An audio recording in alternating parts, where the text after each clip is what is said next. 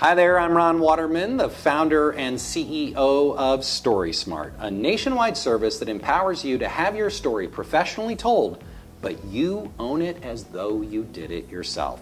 Today, I'm talking to you, the PR professional, about how to create an effective video storytelling strategy for your clients. This is a, a video companion to a written blog post that I encourage you to read um, that goes into to some detail about how you can do this. Um, and you know, I'll start with, and I'm just going to dive right in. I'm, I'm, I'm going to assume I have you at hello on that you should be doing video storytelling. If I do not, uh, and you are not doing video storytelling, I'm glad that you're watching the video uh, because I think if you're not offering video storytelling as a service to your clients, you're committing PR malpractice. And the reason I believe that is because more media is created by the masses than mass media. And your client's audience can be targeted directly. And you know, the media relations stuff that you do is, is wonderful and it's important, um, but it's not the only way in which you, you can help your client reach their audience. They should be sharing their story directly themselves on their website, um, and through their social media. So that's the, that's the point of doing uh, video storytelling. But really, you want to start with all right, well, what's the right process? How do we put a strategy in place? So, step one is the planning process. And I probably have you at hello on that. Um, and I know you probably already go through a planning process with any campaign that you're working with a client on. You're identifying key messages, you're writing talking points, you're doing all of those things. Well, that's the process that you would have put in place with your video storytelling plan. You want to create a written document that identifies all right, who's the target audience? Um, how are we going to reach them? What content um, will they care about? What stories are we going to tell? Uh, and then how are we going to create those stories? And, and then you create some ways in which measuring your success. You know, how, how will we know if we were successful? You identify all of that in a written plan.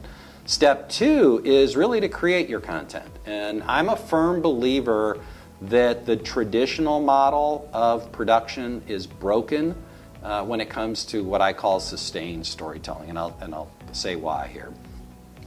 When I talk about sustained storytelling, what I mean is that you need to commit, your client needs to commit to telling their story on a consistent basis. One and done doesn't cut it. They need to be sharing their story consistently on social media and through their website blog. So, how do you do that? How do you put something in place that you can do that on a sustained basis and make it affordable? Um, and what I would suggest to you is the traditional model of scripted storytelling, which is, I think, a combination of Hollywood meets Madison Avenue. It's very top heavy, it takes a long time, um, and it costs a lot of money. That model doesn't really lend itself well to what I call authentic storytelling uh, for two reasons. One, it's expensive and, and cumbersome. Uh, and two, ordinary people do not do scripts well.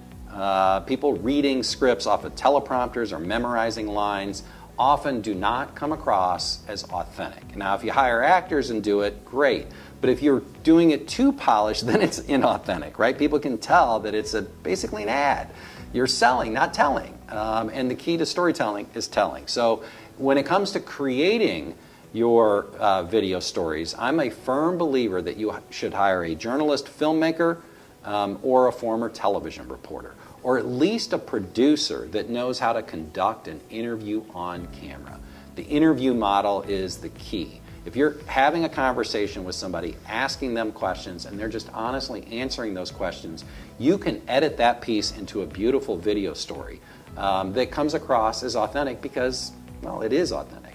So, anyway, so that's the second piece creation. The third piece is measurement. Um, because you have a plan, because you've created your content and you've, you've executed, you've shared it, you, you know, whether you decided that you're sharing it via email or uh, Facebook or LinkedIn or Instagram or Twitter or YouTube, um, however it is that you're sharing your videos via the website, whatever.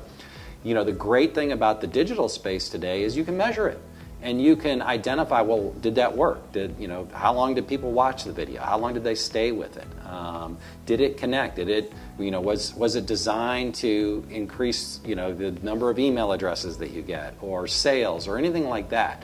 You know the beautiful thing is that today you can create uh, key performance indicators and measure whether or not you're successful. And when you measure, you can adjust, right? Like you can identify, well, that's sort of working, but not entirely. We need to make this adjustment here. So that's the that's the third piece of, uh, of an effective strategy for your clients.